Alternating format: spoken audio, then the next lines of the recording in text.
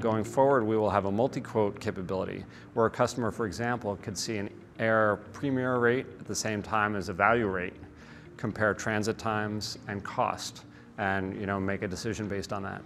We are developing um, collaboration tools, an online central portal that makes it easy for both the consignee and the supplier to manage their information, to exchange information online, particularly where um, the consignee and the shipper will work together on an ongoing basis and you know, have regular shipments. Um, this really is helpful, having the documents accessible at any time, having an easy ability to communicate things like you know, updates on the size of the shipment, container weights, and other things.